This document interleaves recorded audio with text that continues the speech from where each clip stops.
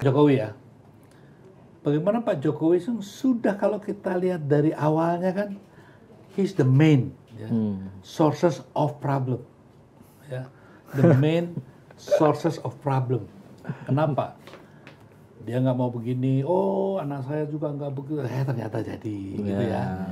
Oh kita pokoknya semua jangan ada yang ikut campur ASN ini tentara harus ya toh. tapi ya ayo ayo ayo ayo gitu. Dikumpulin semua itu petinggi-petinggi desa nah hal itu nyata. Kemudian pencopotan baliho-baliho. Kemudian dia bilang juga presiden juga boleh loh ya gitu kan. Nah seminggu atau dua minggu kemudian saudara-saudara nah, saya minta apa ASN tentara Polri harus netral. Ini kan yang membuat orang-orang jadi bilang sopo toh iki?" gitu kan. Apakah dia seorang kepala negara? Apakah dia seorang kepala pemerintahan? Kok kayak begitu sih ngomongnya? Padahal kan rakyat mencatat. Hmm. jadi maaf saja mungkin Pak Jokowi sudah terlalu melihat ya bahwa semua orang tuh kacamata hitam semua.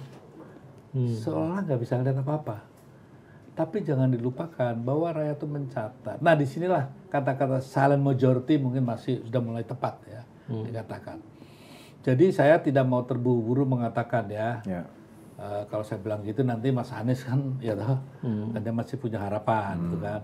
Kalau PDIP itu mungkin juga "Wah, kok nggak mungkin deh saya segitu gitu. Jadi berilah ruang itu ya. Nah tapi ruang yang paling penting, ayo Pak Jokowi, ayo dong.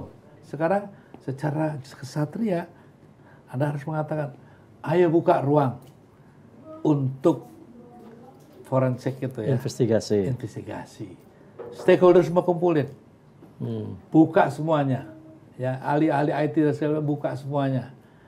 Dari from C segala yang di ini kan lihat semua kan ya.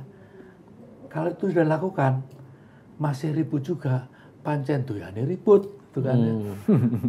Tapi kalau sekarang ini langsung udah katakan, sudahlah kita harus terima. Ini kan apa sih gitu loh. Orang sudah dari awalnya saja, sudah tidak baik-baik saja. Kok tiba-tiba satu peristiwa pemilu hanya ditandai oleh satu ya. Satu hari yang hari terjadi sampai hari hanya ada proses yang sudah dicatat. Sekian banyak ya. Hal yang namanya pakai istilahnya kecurangan.